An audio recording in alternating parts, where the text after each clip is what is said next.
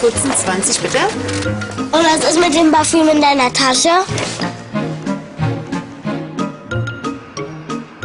Guck mal, Mama, die beiden machen das gleiche wie du und Onkel Klaus.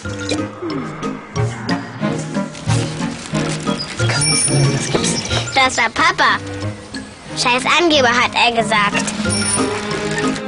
Mama, kriegt man bei jedem Urlaub die Syphilis?